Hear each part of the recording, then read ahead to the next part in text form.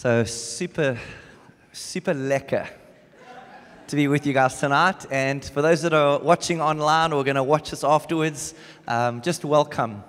Um, the guys just felt as we process what it seems that God is doing that we needed to lay a foundation of just the Word of God, the theology of how God might move into us as a church, in the hope that we could prepare the ground because when God does move, uh, it very often is a little bit out of the box, different to how we would maybe even be comfortable with. And so the point of tonight is to try and, in some ways, prepare you theologically for what we feel God's going to do. And maybe just to back up a little bit, uh, every year I start the year with God, what do you, what do you want to do? What's, what's on your heart for us this year?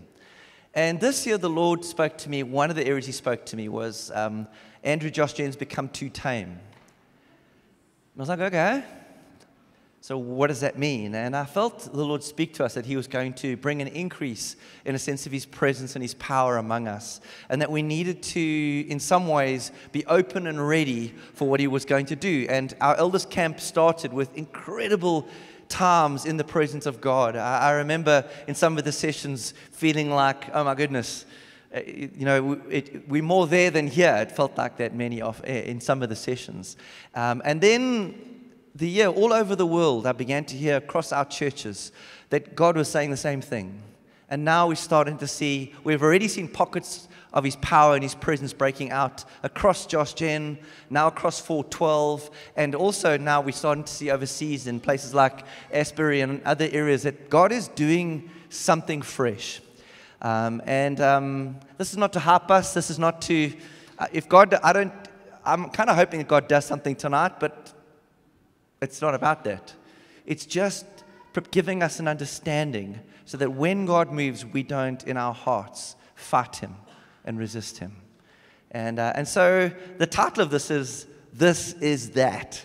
And it comes out of Acts 2.16. Uh, we can put it up on the board for me quickly. Uh, on the day of Pentecost, the Holy Spirit was poured out in a powerful way.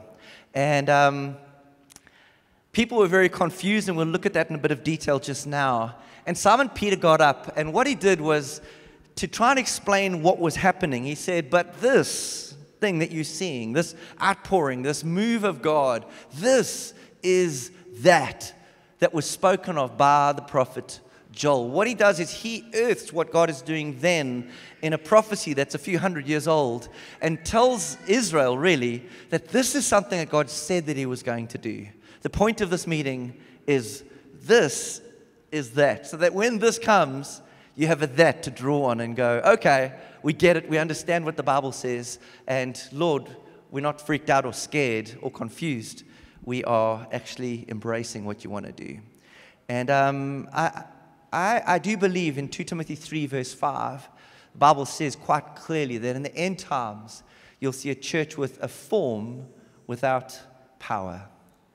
And uh, when a church gets stuck in formalism and tradition without the power of the presence of God, it's a, a, it's a highway to death. It's a highway to compromise. It's a highway to lukewarmness. But where the Lord is, there is freedom, there is life, there is joy. There is always something out of the box because He is God. And when we let Him be God, when we open the door, when He knocks, anything can happen. And so let's dive into just a little bit of when God moves. And I'm going to start in the book of Isaiah. Uh, Isaiah 50, 40, oh, my writing is small, 49, verse 8 to 12. And Isaiah, to give you the background, was a prophet in Israel in around the year 700 BC, so you're talking a long time ago. Israel at the time is actually in quite bad rebellion. Uh, he writes as a prophet. Uh, he's my favorite prophet of all the Old Testament prophets. And he, he, a lot of his prophecy is about actually, because Israel hasn't listened, God is going to raise up Babylon, this foreign nation, who's going to come and override Israel. But then God lets Isaiah also see beyond that.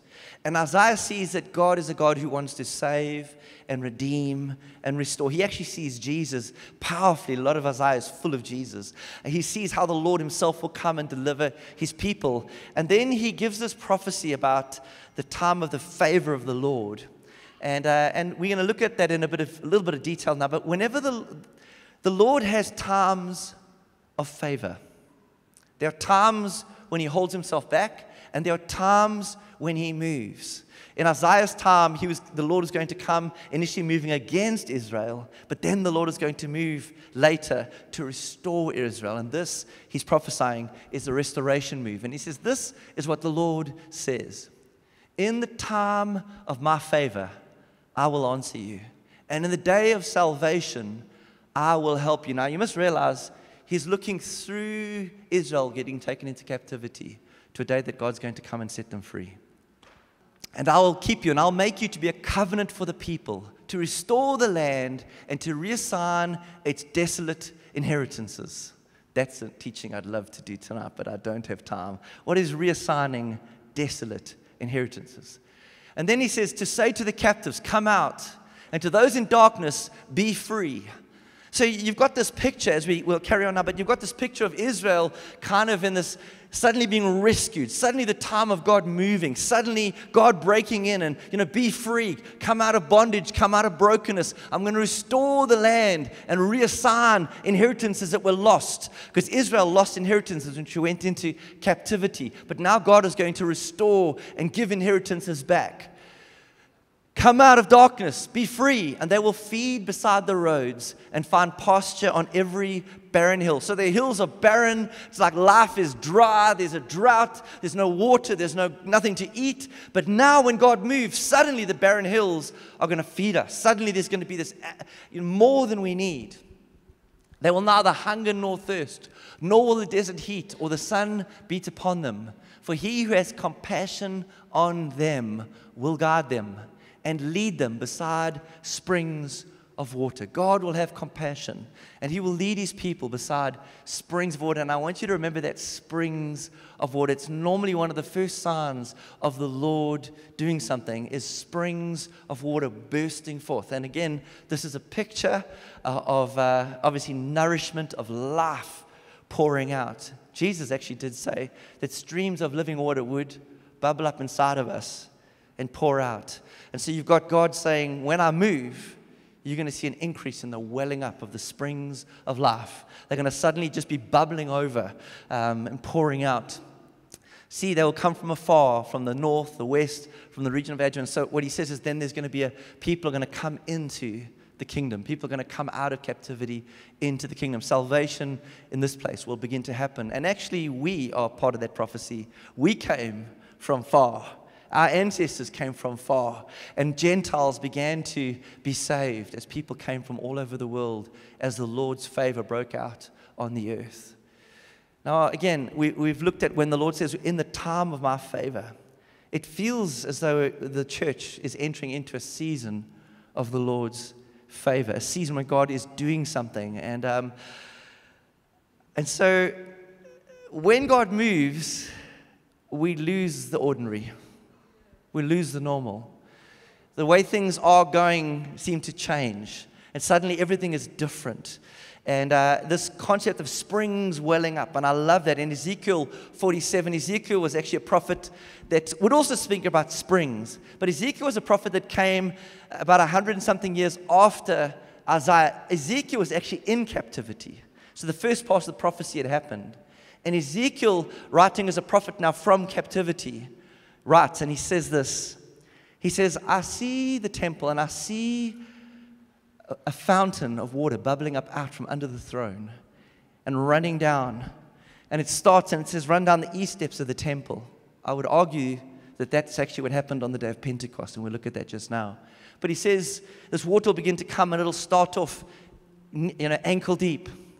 And then it'll go knee deep, and then it'll go waist deep. And eventually, he says the river will be so wide that no one could pass through, for the water had risen. It was deep enough to swim in, a river that could not be passed through. And so you've got this picture of this river that gets deeper and deeper and deeper. You can start off in the river when God moves, it's ankle deep, and it's kind of like ankle deep water. You can stand, it's okay. Knee deep water, it starts to get a little bit more difficult to be normal and move around normally. Waist deep, if that water's moving quickly, you're battling. But when you can no longer stand, it's like the sweeping happens and everyone gets swept up into what God is doing. And this is what God says is going to happen when He moves, as water will be poured out. a river that no one could cross. And so there's new depths. There's, and how many of you have felt like depths of the presence of God? Sometimes you can come in a meeting and there's a sense of the Lord is here in a measure, and then suddenly that measure might increase, and that measure might increase. And Ezekiel's here talking about a measure that's so deep that, that no one's standing. This is a powerful move of God. And actually, amazing, he sees this river running down to the Dead Sea, the most dead part of Israel. The water's so salty. I mean, it is dead. You, you if you get that in your eye, I think you might lose your eye. It's that salty. It is, it is seriously. I've been in the Dead Sea. And he says, even the Dead Sea will suddenly have fish and life pouring out because of this river. The most dead part on the planet will find the life of God.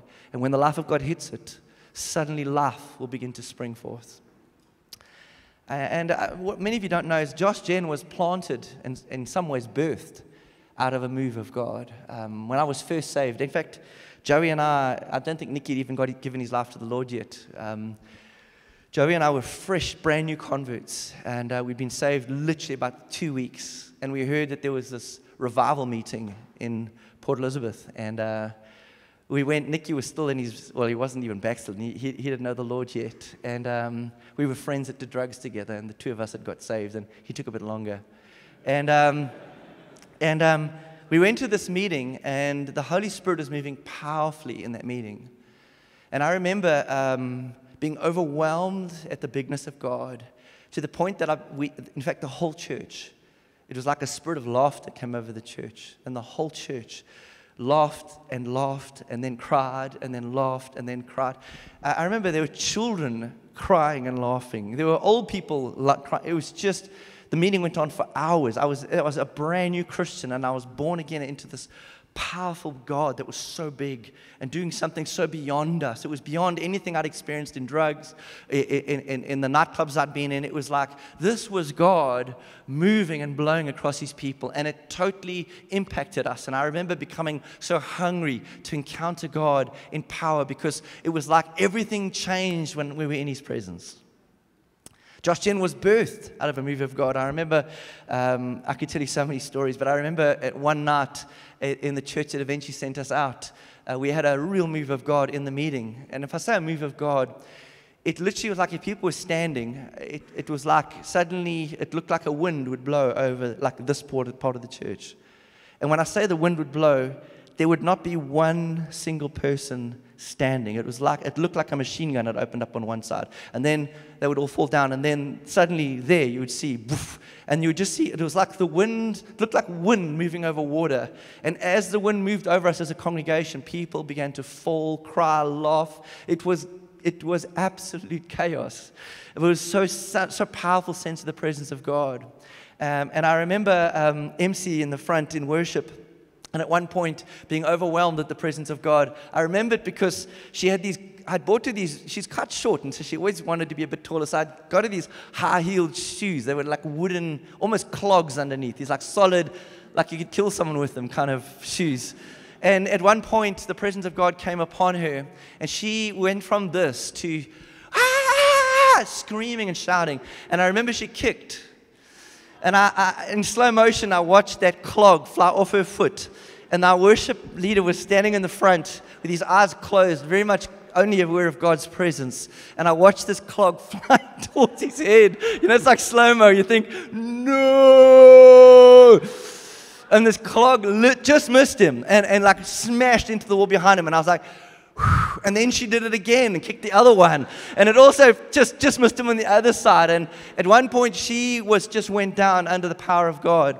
Um, we were all crying, laughing. Uh, I remember a friend of ours, Calvin, uh, was he's my favorite, one of my favorite lead guitarists. He could bring the presence of God on his guitar, and he had he he, he wasn't that wealthy, but he had bought his dream guitar. And at one point in worship, he was playing his guitar, and then at one point he couldn't anymore. And I remember he'd slipped, it had slipped around, and he was standing in the front, like he's supposed to be helping us lead worship, but he was just gone. Standing in the front with this guitar on his back, just gone. And then I watched him start to wave, and I thought, Calvin, do not fall on your guitar. And when he fell on it, I knew this was a move of God because that man would.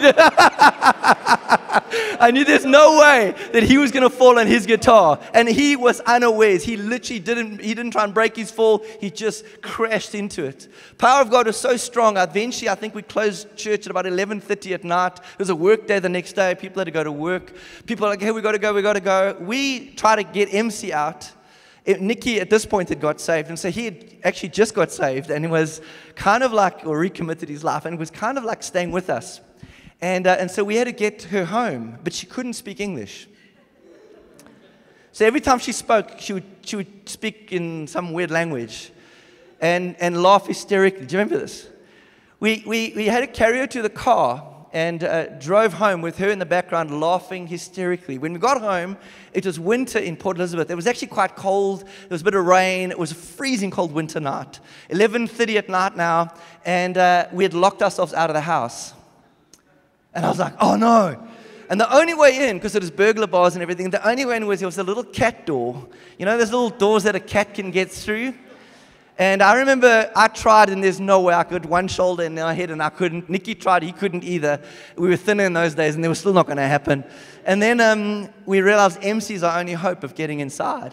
The problem is she is paralytic. So we carried her out of the car, and she was so, so floppy we had, we had to try and hold her straight and then try to push her. So we carried her to the hole, and she was lying there laughing. And then we tried to hold her straight and push her through the hole until eventually we got her through. And her feet were on one side, and she was lying in the house. All she had to do was lean up and unlock the, the, the lock. But she was so gone, she couldn't. And she lay there. We were like, open the door. And she was just. Uh, Calvin, Calvin, that worship, that guy with his guitar, he was the guy that locked up the church. His family went home and his kids went home with his wife. And so at around, I don't know what time, probably quarter, half past 11 or so, he locked the church and walked out to his motorbike to drive home, sat on his motorbike and the power of God hit him again. And he fell off of his bike with his one foot on it, like this. And at 2:30 in the morning, the alarm went off in church, and one of the elders had to go and find out what was going on. And there lay Calvin in the rain, in the cold, at 2:30 in the morning, overcome with the presence of the Lord.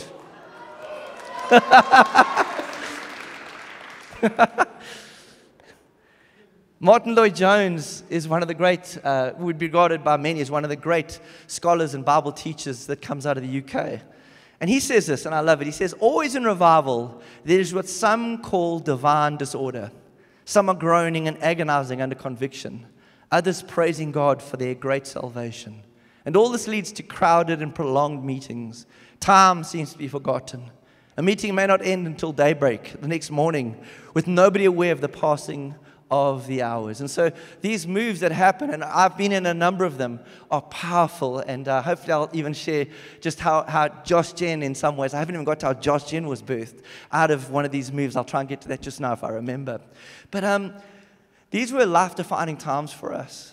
They showed us a God that was so big and often showed us that we were so small. It's like you see. You know, you, you live with this veil, and, and in those times, you see, you see it as it really is, and, and you're never the same. But uh, let's go back to our Bibles because we, we started off with this is that. One of the first real powerful moves of God, certainly the one that birthed the church, uh, was what happened on the day of Pentecost. And I want to give you the background to that because when we look at the response of the Jews on the day of Pentecost, we actually see the response, one of three types of responses that pretty much every one of us will have. There will, there's only three responses you're going to have. And we see it on, in, this, in the scriptures, and then we see uh, uh, ultimately how we should respond. And so I want us to dig into what does the Bible say when God moved on that first day? Because what happened then, and I want to say this God doesn't move the same in the next move to what he did in the last move. Don't put him in a box. Don't put him in a box. God does what God does. In fact, I believe this next move will be a move of the Spirit. That it'll be those who are, in other words, He blows where He wills. No one knows where He's coming or going. And I believe this next move is going to be a move of the Spirit. And that means anything could happen. That means we just don't know. It, it, could be that we see, it could be that we cry, it could be that we, it, it's whatever God is doing in the moment. And I don't have time to explain why I feel that, but I have a sense that that's what God wants to do. So in the book of Acts, chapter 2, verse 12 and 13, we read the Holy Spirit's poured out, and um, the disciples are flopping and falling around like drunk people. And, um, and so in the book of Acts, we read that the Jews were amazed and perplexed. And they asked one another, What does this mean? Some, however, made fun of them and said, They have had too much wine. Let's get to the background of the day of Pentecost. Pentecost, it wasn't Pentecost until after this happened. This was a life defining, church defining moment. It was when the church arguably was born. And what had happened was the Jews celebrated different feasts. And so all the Jews from across the world would come together. To, they would literally travel from wherever they were, from all over the world, and they would gather together at their capital, Jerusalem. And so at this time, Jerusalem is flooded with probably, uh, they say, as many as 100,000 Jews have traveled from around the world, and that's, that's pretty much all of them. Um, from around the world, from you know, Greek areas, Egypt, all over they've come. And they've come to celebrate actually a Jewish festival, which happened on the same day that Pentecost would happen. It was a feast of weeks or Shavuot. And it, it really was a feast where Israel acknowledged that God had given them this promised land and that they had planted crops. And when those crops bore their fruit, when the fruit finally came up out of the ground, they would celebrate that God had provided everything that they would need. There was a season of abundance and bounty. And so Jews would come to celebrate that. And this was the Feast of Weeks or the, the Shavuot. But at the same time, the Jews also celebrated that Moses had got the law on this day. And so this was actually a double ceremony to the Jews. This was the day that God gave us the law and defined us as a nation. And this is a day of the provision and abundance of God. And so all the Jews had gathered together in Jerusalem. And we know Pentecost happened at nine o'clock in the morning because Peter's response is, You guys are drunk. And Peter says, We're not drunk, we're Jews, and it's nine o'clock in the morning. So, what that means to a Jew is at nine o'clock in the morning, every Jew who is in Jerusalem went to the temple because it was a time of prayer. And so the whole of Israel, the whole of what is Israel at the time is actually at the Jewish temple at a place called Solomon's Colonnade. And they were praying. A lot of us have picture of an upper room. It's not what the Bible says. It wasn't the upper room. The upper room happened at another time. This happened actually at the temple because it's nine o'clock in the morning, and every Jew is going to be at the temple at nine o'clock in the morning. And the Jews have packed in there, and it's a time of prayer. The Bible tells us suddenly tongues of fire appeared and came down on a group because the disciples have gathered together in the middle. And there's 120 are praying, and they followers of Jesus. No one else is. And I, the, this tongues of fire comes on these 120 and, and they start trying to speak. But when they speak, they're not speaking English. They're speaking in the languages of the people that have come from all over the world. They don't know what they're saying, but actually they're preaching the gospel of Jesus Christ to, to, to different people that are hearing the gospel in their own language. And so they obviously, they, everyone thought they were drunk, which also tells you they're not standing there waxing eloquent. Have you ever, if you saw someone, a group of people, and you said, oh, they're drunk, how would they be acting? There'd be certain things that they'd be doing that would be a little bit like, they would be looking very weird and out of the ordinary and probably having too much of a good time or you know, falling around, around on each other. And so the fact that the Jews said they're drunk means this is crazy. This is nuts. These guys have, how could they drink at this time of the morning? And um, Interesting. Solomon's colonnade is on the east side of where the temple is. And remember, we read earlier? The water will come out from the throne and run down the steps on the east side. Guess where Solomon's colonnade, as you come out of Solomon's colonnade on the east side, there are pools of baptism where they were baptized 3,000 that day. And then that water would keep running down until it would reach every nation.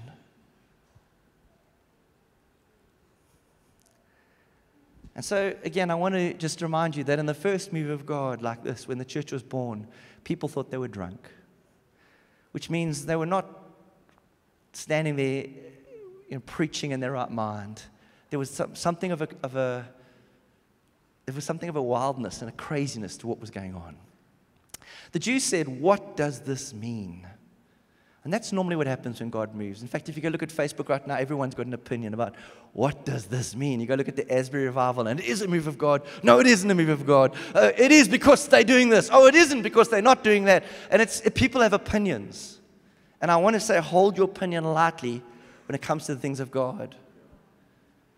It's very hard to put God in a box and go, well, you know, he, he didn't do it like that, so it's not a revival. What does this mean? Amazed and perplexed. Those are two responses. The first one is perplexed. Let's look at that. Perplexed. The word in the Greek is diaporon. It, uh, it literally is a negative word. You know, a, a, word can have a positive or a negative kind of feeling about it. Diaporon is a negative feeling. Some people are quite negative about this. Uh, uh, they were perplexed. This, the word perplexed is it makes no sense. This is crazy. Uh, in Luke 24, verse 4, that word is used when, do you remember, and it, you start to have an idea of why it's a negative feeling. Do you remember the story when the, the, the, the, the woman went to go and find the body of Jesus uh, on the third morning, and they went to the tomb, and his body wasn't there. And they, they saw an angel, and they were perplexed, and they asked, that's the same word, and they asked the angel, did you steal his body? Please, could you give it back to us? They, they don't understand what's going on, but the feeling is negative. And so, whenever there's a move of God, you'll have a group of people that'll be perplexed. The vibe is, I don't know that this is God. I'm not comfortable with this. This doesn't, this doesn't make sense to me. Make sure you're not in that group. I mean, test everything, but be careful of being in that group. Seems wrong. But then there were others that were amazed. And this is existemi in the, in the Greek, and it's positive. It, it's it's kind of like, I don't understand this, but it, I think it's God. It feels amazing. And so, again, to show you in the Bible where this word is used, the women were first perplexed. Did you steal his body? Where is his body? But then the angel says to them, No, don't you remember? He said he would be raised from the dead.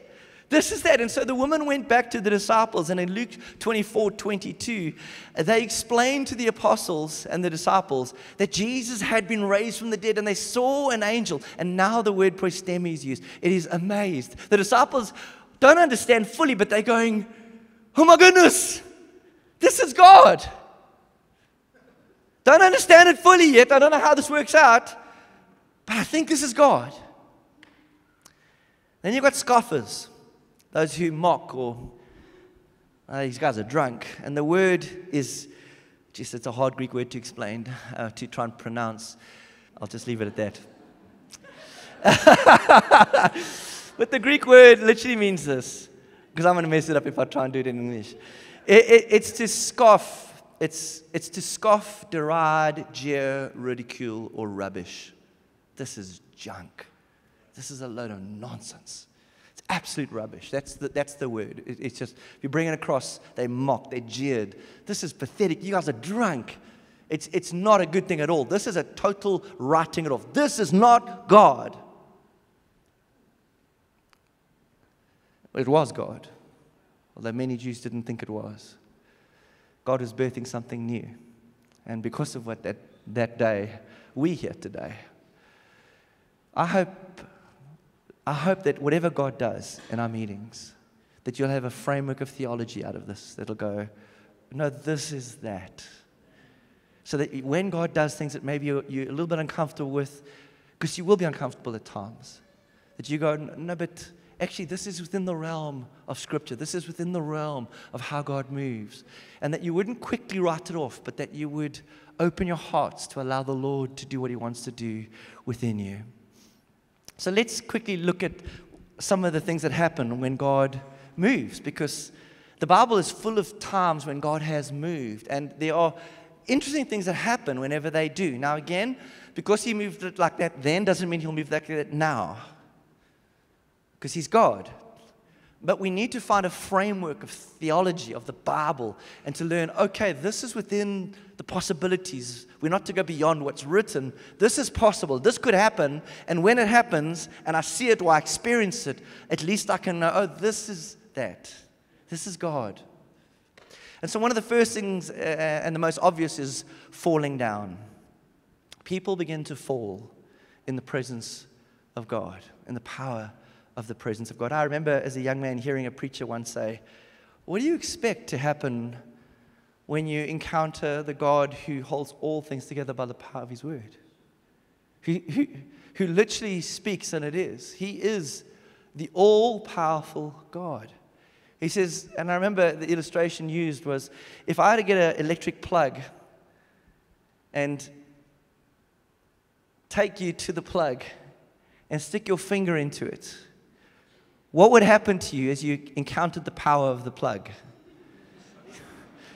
You would get shocked. That's 220 volts, and you would get knocked onto your back, probably unconscious. And that's a 220 volt plug. What do you expect to happen when you encounter the living God in power? When God comes and when God moves. And so in Ezekiel 3, verse 23, and now we're looking at our Bibles. Ezekiel is this prophet again. We looked at him earlier, and he has these radical encounters with God. In fact, uh, it's actually interesting just looking at, if you just look at the book of Ezekiel, at the, the crazy things that happen. But in one of the things, this is right near the beginning, he goes up, God tells him to get up, and he goes out to the plain. And the glory of the Lord was standing there. So he's a man in captivity. He's actually in Babylon. He's a Jew in Babylon. And he's part of that move of God starting to restore his people. And so he, he goes out to this plain. God says, Go to this plain. He goes to the plain. And when he gets to this field, the glory of the Lord is standing there. Now you wonder, what does that mean? What does that look like? What, what, did he, how did he know? How did he sense? And I can tell you this when the glory of the Lord is standing in the field, you'll know. You'll know. And he knows. And so, what something happens to him when he sees the glory of the Lord, like the glory I'd seen by the Kebar River, that's, that was his first encounter. This is his second. And I fell face down. Now, this is not a, this is not a kneeling. This is not this. The, the, the, the language is very clear. It is a falling face down. It is, and, and you'll see the same thing um, in the New Testament, you'll see eh, that there's this falling down, and an example of this would be in John 18, verse 6. And going to look at this one because a lot of people say, if it's God, you'll fall forward. This is some of the weird things that the church gets into. If it's God, you'll fall forward. But if you fall backwards, then it's the flesh and there's whole teachings that go around. And the problem with YouTube and, uh, and Google is there are a lot of people with a lot of opinions that are going to make a lot of confusing things out there. And so guys will come up with these kundalinis and I don't know what all spirits. Uh, there's a whole lot of junk out there. Just, just ignore it. Because you go down those rabbit warrens, you're going to get lost. Okay. Jesus is about to be arrested, and um, it's an interesting story because he's, a, he's actually in his weakest place. He's about to go and get crucified.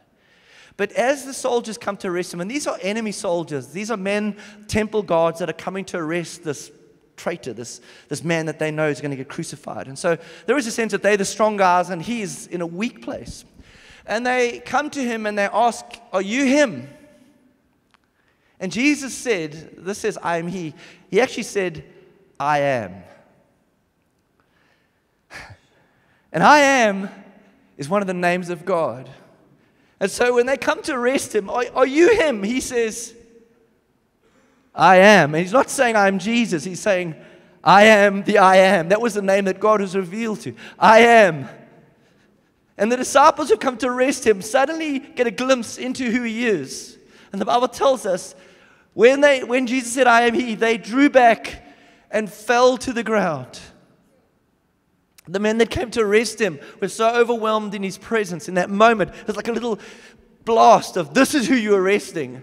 They, they drew back, and this is a falling backwards. The word in the Greek is pipto. It literally is the same word used for the young man that was sitting in a windowsill listening to Paul preach too long. Remember the story in the book of Acts? And at one point, he falls asleep and he piptoes out of the window down and kills himself on the ground. And Paul has to come and raise him from the dead. He falls out, he piptoes. These men pipto. They fell backwards as they drew back in the presence of the Lord. When the Lord reveals himself in his glory, you can't stand. I mean, there's times that it's knee deep and you can stand. But when that river goes past a certain point, you're not going to be standing there going, I love you, Lord.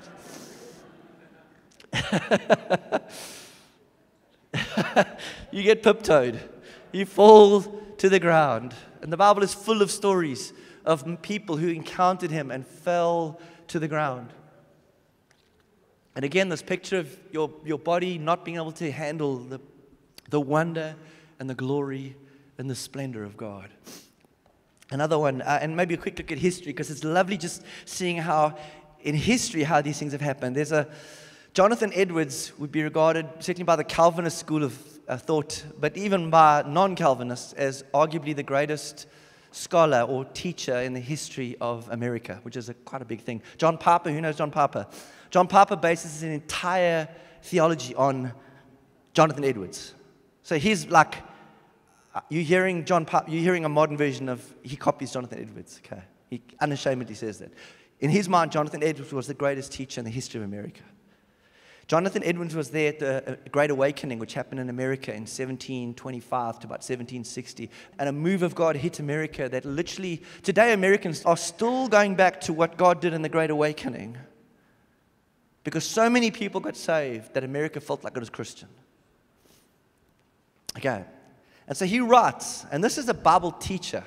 He's a teacher. He's not a, he's not a, he's not a charismatic, he's a Bible teacher. Listen to what he says, and he's writing about the account of the revival of religion in Northampton. I'm going to quote him. Many have had their, this is Old English, so just bear with me. He wrote this in 1700 and something.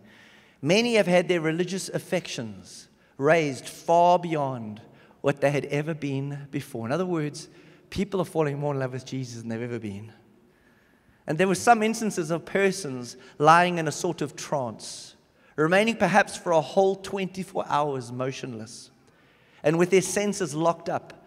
But in the meantime, under strong imaginations, now using the word imaginations, they're having strong experiences as they're lying there 24 hours motionless. They're seeing crazy things. As though they went to heaven and had a vision of glorious and delightful objects. It a very frequent thing to see outcries, people start shouting, convulsions, shaking and such like, both with distress, anguish, and with admiration and joy. You've got to imagine being in that meeting.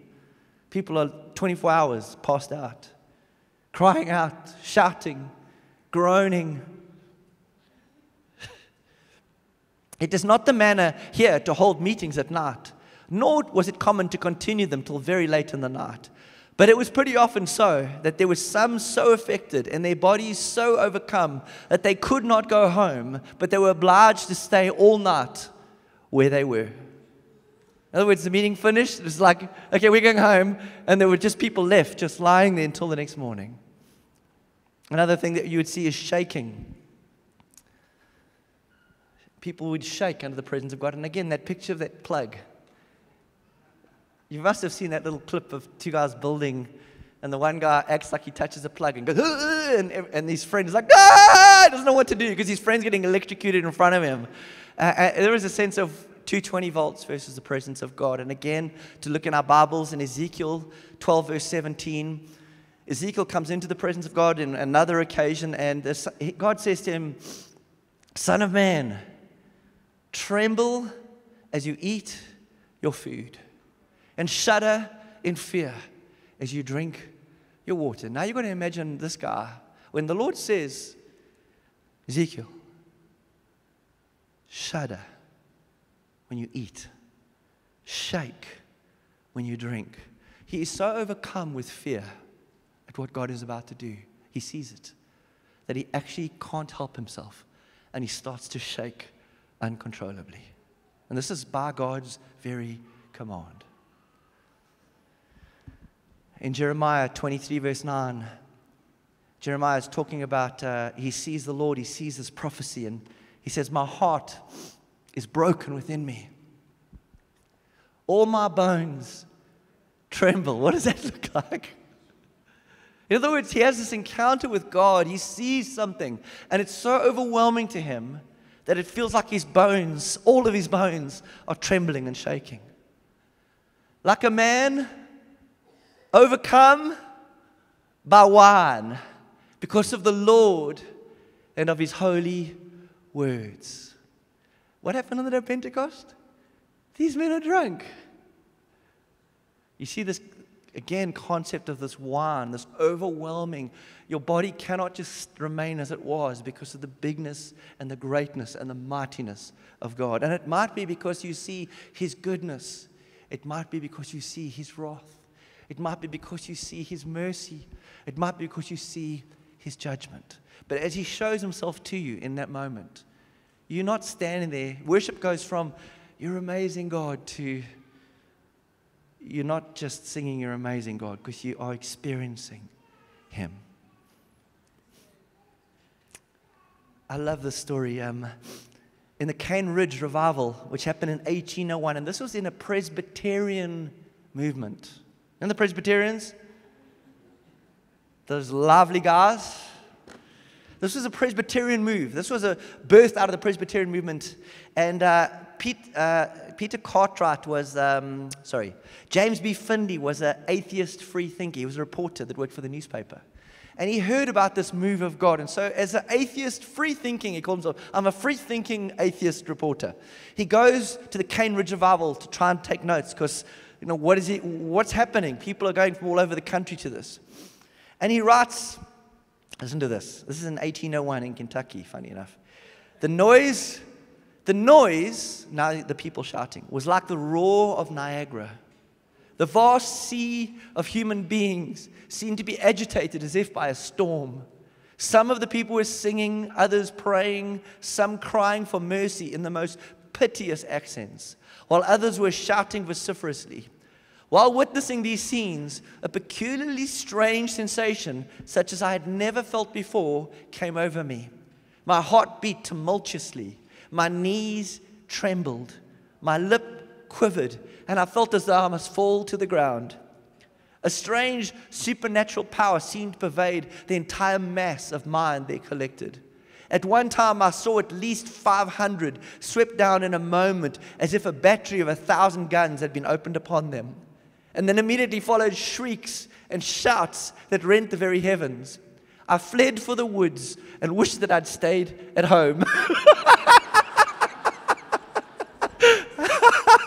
I love that. You said, like, I fled for the woods and wished I'd stayed at home. I don't know what this is, but I'm scared. he was on the perplexed side of things, okay? Not the amazed. Drunkenness, we've looked at that already. Jeremiah 23 9, I'm like a drunken man, overcome by the wine because of the Lord and his holy words. This is John Wesley, the father of uh, the Methodist movement. Do you remember the Methodists? Most of these moves were birthed in a move of God. So you've got the Methodists now in 17, between 1703 and 1791. This is the birth of, in this, in John Wesley's lifetime, the Methodist movement started, and by the time he died, it was the largest Protestant movement on the planet. You're talking about plant, churches planted, thousands and tens of thousands getting saved. And he said this this is John Wesley on, talking about one of his meetings. People dropped on every side as thunderstruck as, as they fell to the ground. Others with convulsions exceeding all description, and many reported seeing visions. Some shook like a cloth in the wind. Others roared and screamed or fell down with involuntary laughter. This is the Methodist movement.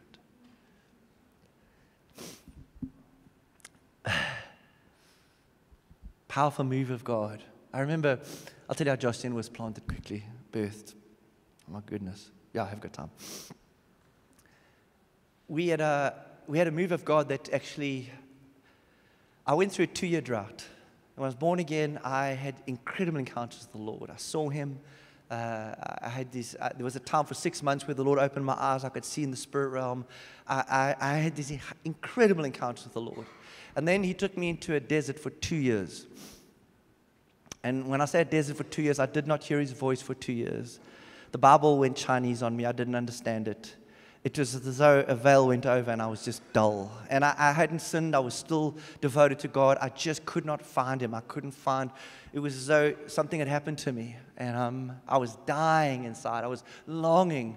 And I think God was just humbling me because I'd got a big head with all the awesome things that had happened to me. So for two years, He put me in a desert. And then we had a church camp. And uh, it was at Jeffreys Bay, and uh, I went because I was still involved in church, but I was really in a dry place. Uh, and You know, you're hanging on by your fingertips, like, God, I feel like I'm so far from you. I, where are you, God? And uh, I went to this camp, and Jeff Kidwell, who wasn't part of our movement, you know, Jeff from Ross's side of things in Muizenberg, Jeff Kidwell was ministering. And Julie, you were in that meeting, eh? and, uh, and he got up and he kind of started sharing some stuff and then said, The Holy Spirit is here, just receive. And God broke out suddenly in that meeting. Probably about this many people in that camp. And at one point, I looked, and everyone was on the ground, crying, rolling, laughing. And I was standing. Felt so thirsty, and I remember standing there going, God, please, I've been two years without your presence. Please, would you touch me like you're touching them? Nothing. People are flopping around, laughing. I remember people, one Chanel was going around like an airplane. Uh, it was just, it was just crazy all around me. But I knew God was here, but He wasn't doing anything with me. And I, I'd wondered, did I sin or what? Where are you, God? And I felt so thirsty. I actually, I felt like I was going to die. And at one point, Yaku was on that camp. At one point, I got angry at God. So, well, fine. Fine. And I went to Yaku. Jeffreys Bay was cooking, and I, we both surf. And I said to Yaku, Yaku, I'm going to go surfing. Do you want to come? This is in the middle of the meeting. And Yaku said, Yeah, let's go. he was a good friend. He was a good friend. He was a good friend. And so we went. Sharon was, hadn't met her yet. Hadn't met her yet. And so we went surfing, and I, we surfed about an hour and a half. And when I got back, Dion and Kim were sitting right there were waiting at the entrance to the campsite for me. And I knew I was like in the headmaster's office when I saw their faces. She knew I'd led him astray. And she, I remember Dion and Kim, what did you do? Dion said, What were you thinking? And I remember Kim's words were, Grow up. So I went back to the meeting. And actually, I got nothing through that whole weekend. Everyone had a fat jaw except me. They were drunk with the Holy Spirit. I got man, I didn't even smell the presence of God. And I came home and I, you know, you feel like there's something wrong with you. Like, God, if I, if I sinned or, you know, don't you love me? And these were some of the questions that I was really struggling with in those days. I wasn't in leadership. It's just like, God, wh- why? And anyway, we, we, we, went back to our house, and uh, Julie and Milani, Milani was back from, she was a missionary, she was visiting, and Julie was there, and they were going to come and have dinner at our house that night. And we had a little wooden house on this little horse farm, and there was this little hill just behind the house. And I went up to pray before they got there. And I, I went up the hill, and I was sitting up there, kind of moaning at God that He hadn't touched me and that I was in such a dry place. And where are you, God? And as I sat on the hill, my, the house was just down below us, about ugh, two k's down, but I could see it. And uh, I saw heaven open suddenly. And I saw what looked like a whirlwind of light open and come down onto the house. I didn't know what that meant, but I knew that was God, and I was quite excited. So I ran down the hill, and when I got there, they were there. Julie and Melanie were in the kitchen, and MC was, they were cooking something up. And I ran into the house, and I called them out of the kitchen into the living room, and I said, Guys, guys, you're not going to believe what I've just seen. And God hit me like a bus. It felt like, it felt like, it felt like a Mack truck broke through the wall, but I, it, just, I, it just, the presence of God hit me. Bah! And it threw me backwards onto my back on the ground. And as I was hit, they all just collapsed. Bah! This is my first encounter with two years. I lay on the ground on my back and I started giving birth. Julie, remember this. I started going, ah, and I knew something was happening. I didn't know what it was, but I felt like a woman giving birth. This was weird, but I was overwhelmed at the presence of God. And uh, I mean, it was wild. And that, that, that started a move that happened in my house. So people just start to come then to our house because every time we'd say grace or something would happen, the presence of God would fall. And I remember meetings where the food would be on the table and we would just be, you know, uh, the one time I think it was you and Milani, your, your face was in the food, I think. I remember pasta, just say grace and look up and Julie's flat out in the pasta, like lying in the. I remember guy, Neil Lloyd. I actually thought about him earlier, just Neil Lloyd, a, young, a guy that was a Rastafarian living in, on Table Mountain. Uh, he was running from the police. He had suspended suspend, sentence for doing drugs and got caught again, so he was going to jail for five years. So he's running to, to the Transkei to hide, and on the way up, he visited his aunt visited church before he'd carry his journey, and I invited him to our home. And he visited because there was free food. And everything was normal. We looked pretty normal until we said grace. and somewhere in grace, the presence of God fell. And, and, and I mean, everyone, was just, it was crazy. Everyone was just crying, laughing, just overwhelmed with the presence of God. And I, at that time, was so conscious of him, I was trying to hold myself together. And I said, and Neil was just staring at us like this. And I said, Neil, are you all right? And he was white as a sheet. And, and he said, he pointed, and he had a, a necklace around his neck with, um, he was a Rastafarian. Rastafarians believe that Haile Selassie is the Messiah. He was the emperor of Ethiopia. And uh, he had a, a, this emblem of Haile Selassie with a chain around his neck and a closed clasp. And Haile Selassie had fallen off his neck as the power of God had hit. The clasp was still together, the necklace was still in his neck, but somehow Haile Selassie had fallen from his neck in the presence of God. And I remember his words were, I said, Are you all right? He looked down and he pointed and he said, Haile Selassie fell.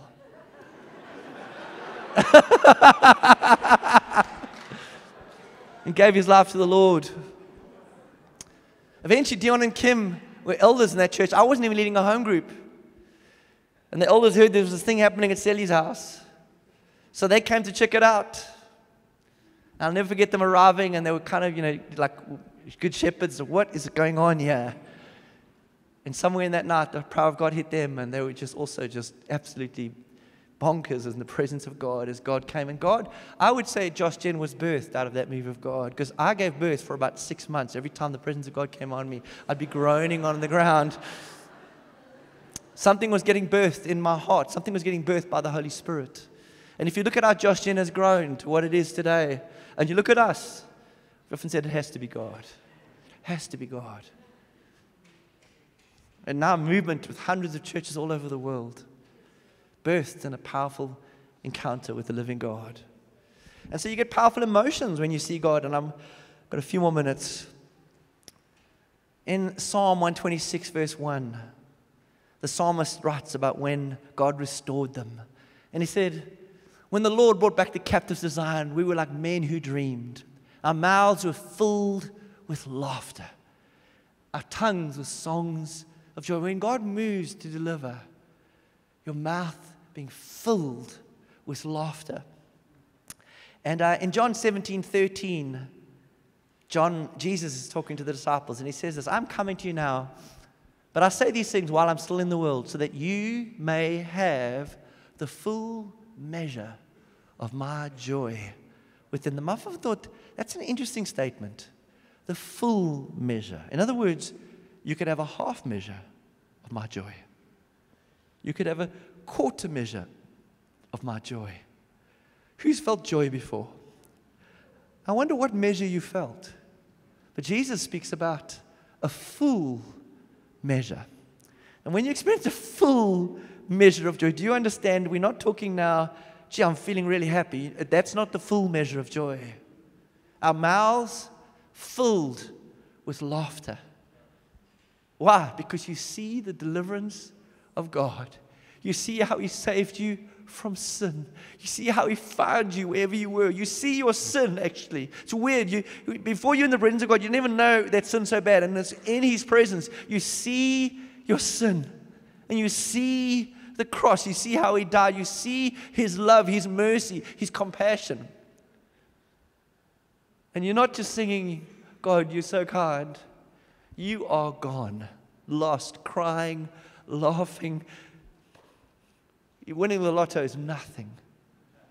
Is nothing compared to what our God has done for each one of us. And when you see what He's given you, when He opens your eyes, you will not be standing there just going, you know, be still and know that I'm God. You're not going to be doing that. In Revelation 5, verse 4, John the Apostle, he goes into heaven. He sees heaven in this vision, this encounter with God.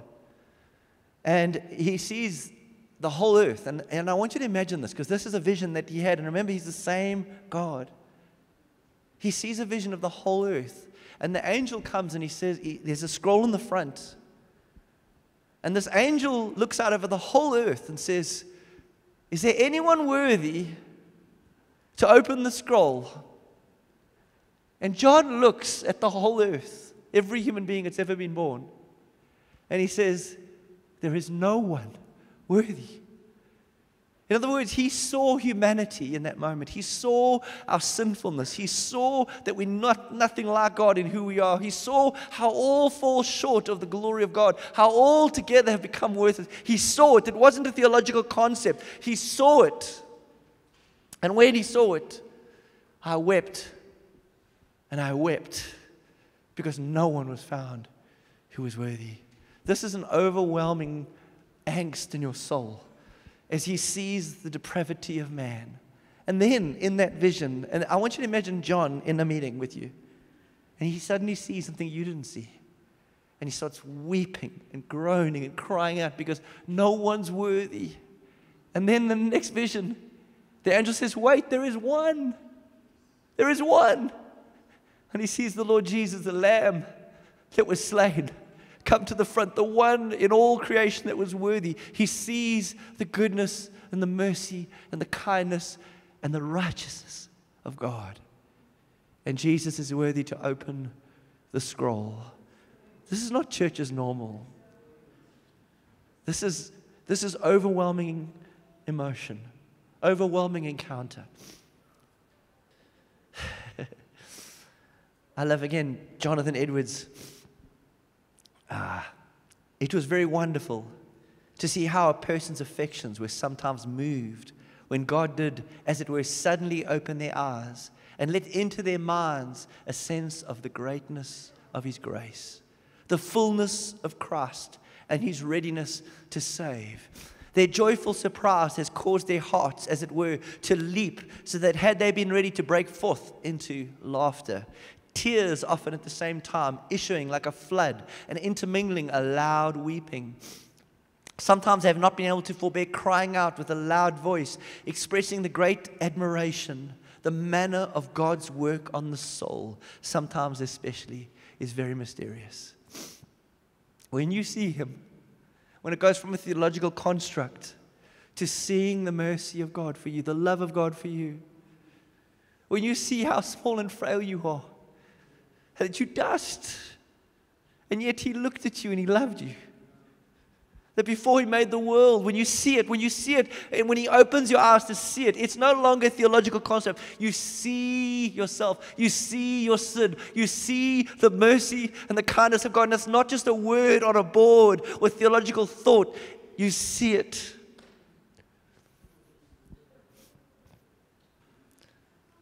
Paul writes in 2 Corinthians 12:4 about visions and revelations and seeing inexpressible things. And listen to this.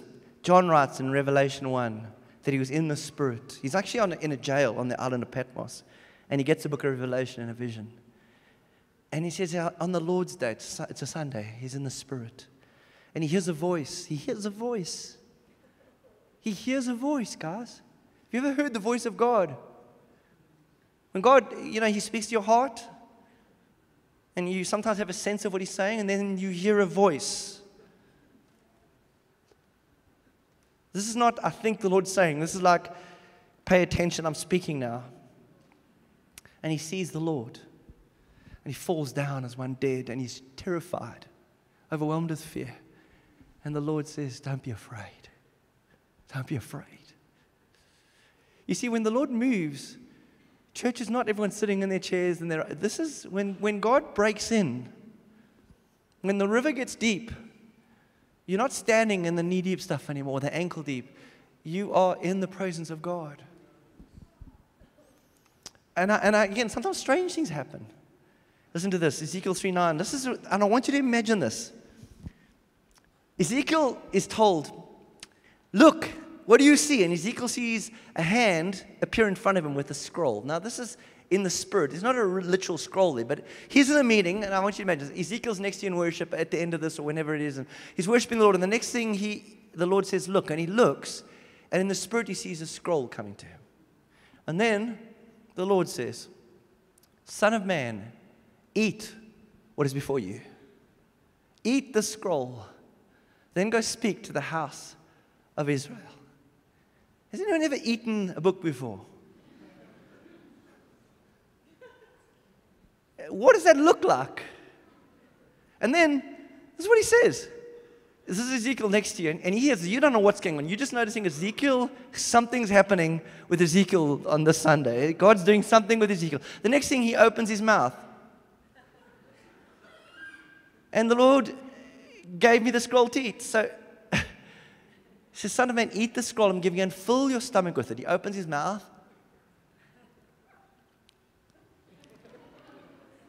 And then the Bible tells us, so I ate. And it tasted as sweet as honey in my mouth. Mm. Mm. But when it gets to his stomach, it goes bitter. Starts off, mm, mm ends off, uh, uh, as he begins to encounter what the Lord is actually feeling about his people. See, it, it, it's not normal. It's, it's not in the natural mind, you look at this and you go, this is just weird. These people are drunk, they've lost the plot. But for Ezekiel, he's seen the Lord. Listen to this Ezekiel 3, verse 14 to 15. And I'm not going to do much of Ezekiel. I'm finishing in literally the next two, three minutes. The Spirit lifted me up and took me away. And I went in bitterness and in the anger of my spirit with the strong hand of the Lord upon me.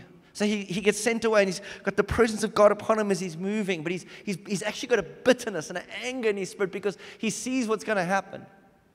I came to the exiles who lived at Tel Abib near the Kebar River, and there where they were living, I sat among them for seven days overwhelmed. So he, he walks into a meeting and sits down, and he's overwhelmed for seven days. Just gone. Yeah, there was a lady, what was her name? Maria Woodworth Etter. She was preaching uh, somewhere in America, I think it was, might have been the UK, I forget where it was now. America. Sharing in a meeting, and the next minute the, the presence of God came. She said she saw a vision. She was taken into heaven. What she didn't realize is, for her, the vision was a quick little vision. But actually, the vision, in, what happened to her body is it froze. They call her the frozen lady. In the middle of sharing something, she stuck. She was overwhelmed. Body just froze. She's in the presence of the Lord hearing him say things, but her body's stuck here. I think it was three days. She's gone. She's overwhelmed. The meeting's watching. She's just stopped mid sentence. Everyone's watching her. What happened to Maria? Does she have a fit? What's going on? She's just stuck in the presence of God. Eventually, people start realizing God's doing something.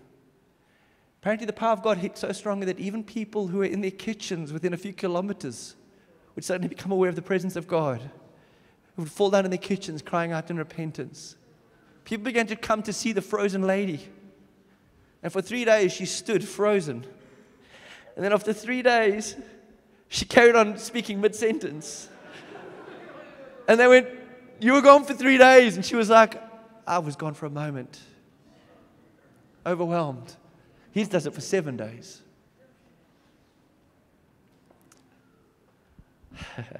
Ezekiel 3, verse 26, and this is a wild one. I'll finish with this and then one more quote.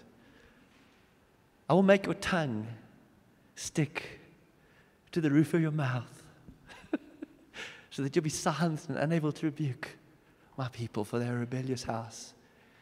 Guys, what does that look like? Ezekiel's in the presence of God. He comes out the presence of God. He's a prophet. What's God saying? Ezekiel, I don't know what you're saying.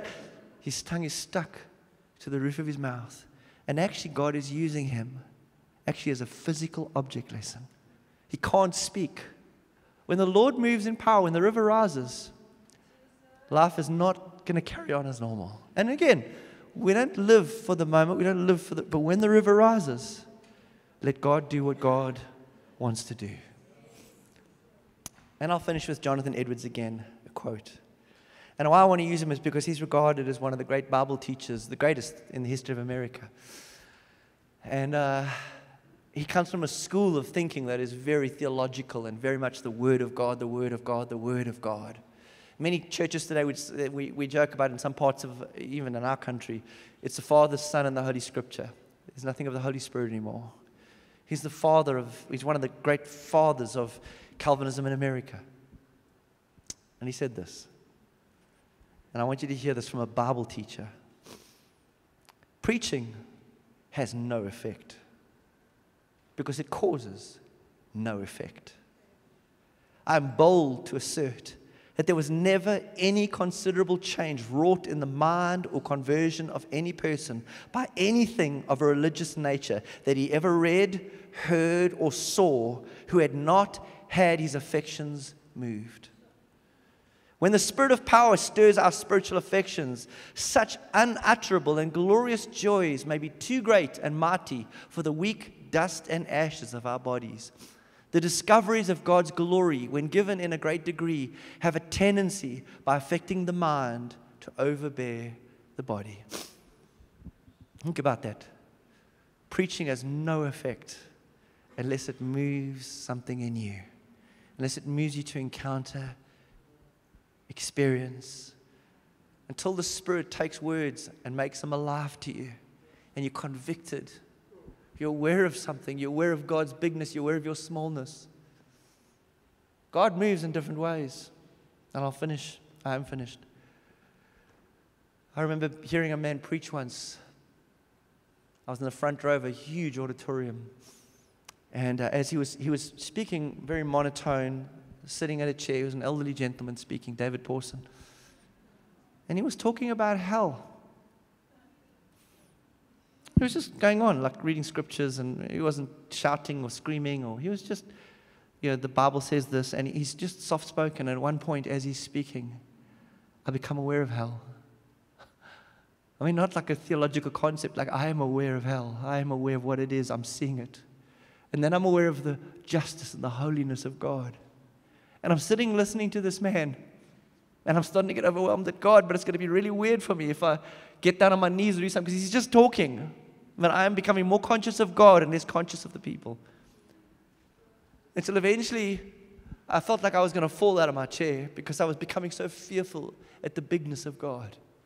And at the same time, so wondrous that He would love me and forgive me.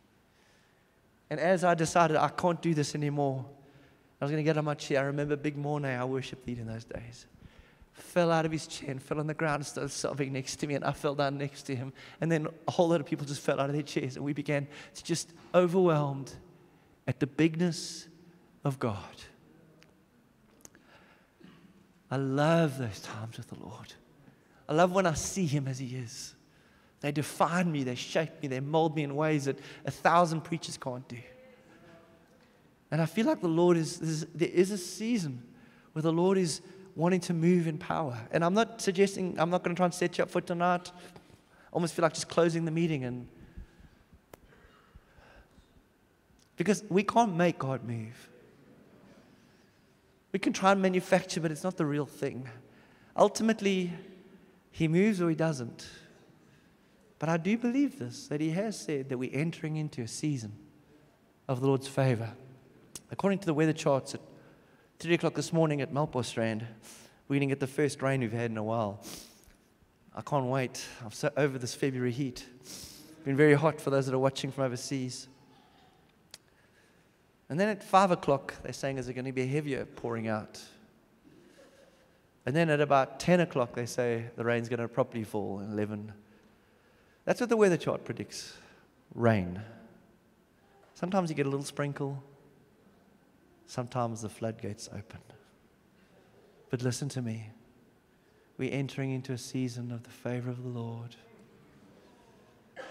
And I believe that God's going to move in different ways. As we worship, we might see Him, we might sense Him, we might, we might experience Him in different ways.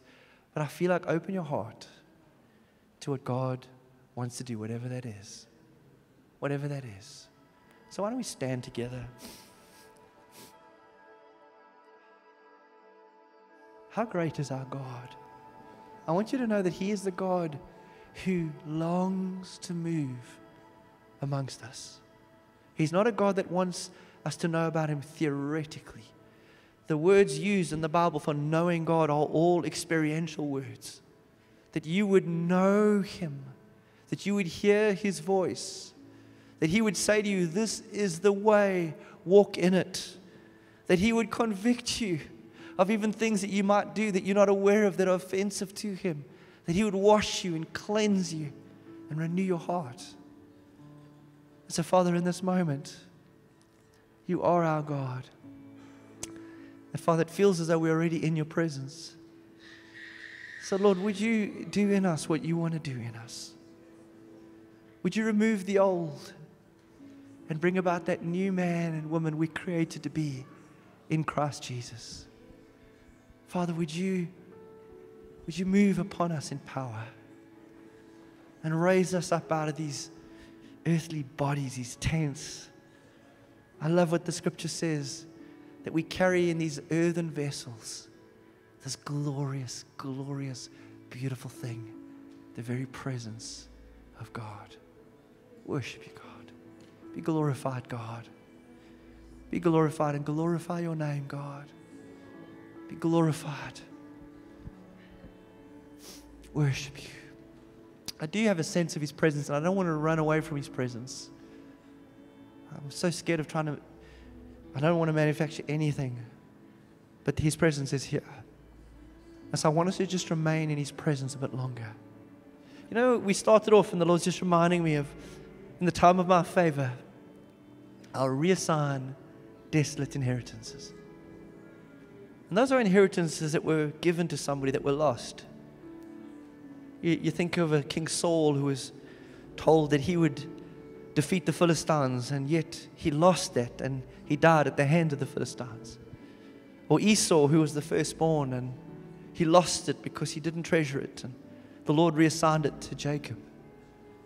I feel like this is a time of the Lord wanting to reassign desolate inheritances, to breathe and put things upon us as His sons and daughters, because He's a good Father and He wants to give good gifts to His children. So just allow our Heavenly Father to minister and to give and to pour Himself out. He's actually a God that deserves so much more worship than we bring and give. But actually, He's a God who prefers to give than to get. Taught us that. Better to give than to get. And I just feel like in this moment, let him just give himself to you. He is the treasure. He is the pearl of great price.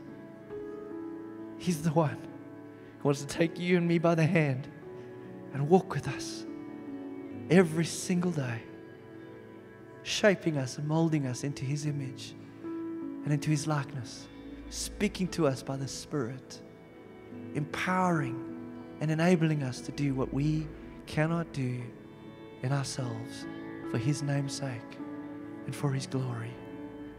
And so, Lord, would you even move here? Would you reassign those desolate inheritances? Father, I even I'm so convinced that even what I'm walking in was not firstly given to me, it was given to somebody else and they lost it. Father, would you reassign? Would you reassign? Worship you. Worship you. I feel like the Lord wants to say this to you and me that this is a time of His favor. That no matter what you've done, no matter how you might feel disqualified, because of what He's done, because of His blood. If you believe, He promises and says that He will wash you whiter than snow. He says you can come in to my presence freely and find grace in your time of need. And I feel like the Lord wants you to draw near. The scripture comes to mind if you seek, with all of your heart, I'll let you find me. If you seek, you spend a little bit less time on Facebook and a little bit more time in prayer in the Bible, not, not out of some sense of duty, but out of a sense of hunger. Out of hunger. God, I want to know you. Show me your face. Show me what you like. As you seek, as you seek, He's waiting to be found. He's waiting to be found. And I feel like this is a season where the Lord wants to draw people that have even feel like they're on the outskirts in. He said, Come in, man. You're my son. You're my daughter. Come into what I have for you. Stop believing the lie of the enemy and enter into, enter into that my spirit will be poured out on all flesh. Poured out on you. Poured out on you. In Jesus' name. In Jesus' name. Streams of refreshing. Streams in the wasteland. Just right where you are. Just, just, I feel like I just receive what your Heavenly Father wants to give you. Put your gaze on Him. Put your gaze on Him. He's made a way. Father, and just I pray for a spirit of intimacy, spirit of wisdom, and a spirit of revelation. That you would anoint them even now, that they would know you and the hope to which you've called them. Their glorious inheritance that's theirs, kept for them and the saints. Do it, God. Do it, Father. Do it, Father. Do it, Father. Worship you. Worship you. Worship you. Worship you, God.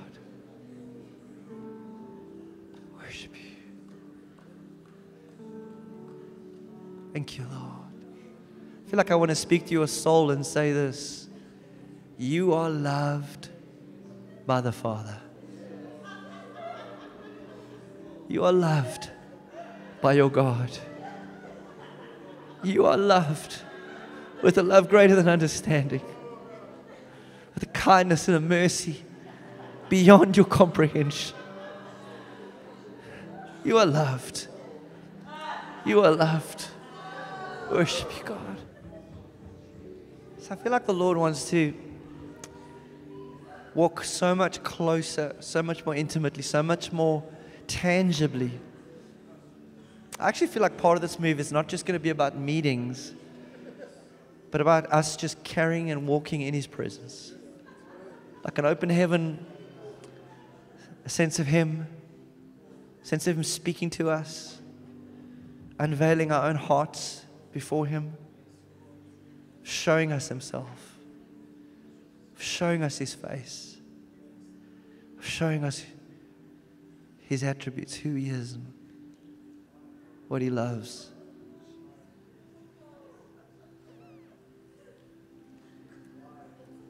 Do it, God. This is your good pleasure, God. You give good gifts. You give good gifts. And the greatest of all is you. You gave yourself to us, God. Gave yourself for us and to us. We worship you, God. Who is like you? Who is like you? Who is like you? Thank you, Lord. So we're going to officially close the meeting. The guys will carry on up front as long as they want to or able to. And you're welcome to remain in the presence of the Lord or you're welcome to go home. But I want to say this if you go home, know this that this is the time of the favor of the Lord.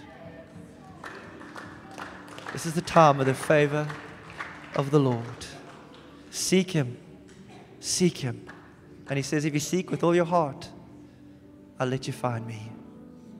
I'll let you find me. And I feel like the Lord's going to come and peel away scales of some of our hearts in this next season. Where our hearts have just grown calloused and the busyness of life or sometimes the love of sin or the world. He's just going to peel away calluses and give us the soft heart to see Him, to know Him, and to love Him. To love Him.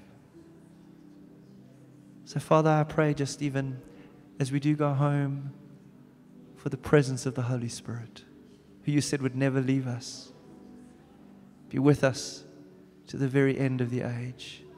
Father, I pray that we would walk in the Holy Spirit, with the Holy Spirit. That you would shape and form by your Spirit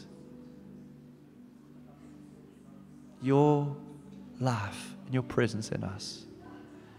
In Jesus' name. Jesus' name. Amen. Amen.